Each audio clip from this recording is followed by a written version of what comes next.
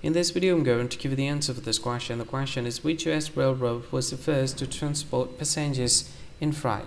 When I give you the answer for this question, and the correct answer for the question is Baltimore and Ohio Railroad. What is the answer for the question. Hi, thank you so much for watching this video.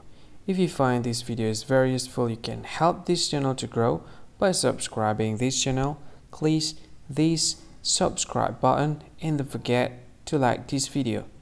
And if you find this video is not really good or you don't really like this video or you kind of feel that it's a little bit offensive or something like that, you can click this one, dislike button. You can do that anyway.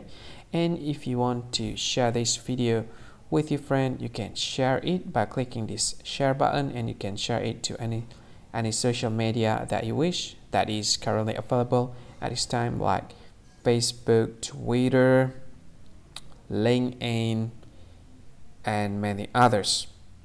Right? And if you want to add this video to your playlist, you can click this one. You can watch this video later and you can find more options by clicking these three dots. And yeah, don't forget to subscribe. I think that's all of it. Thank you so much for watching this video and see you again in another video. Bye bye. See you again.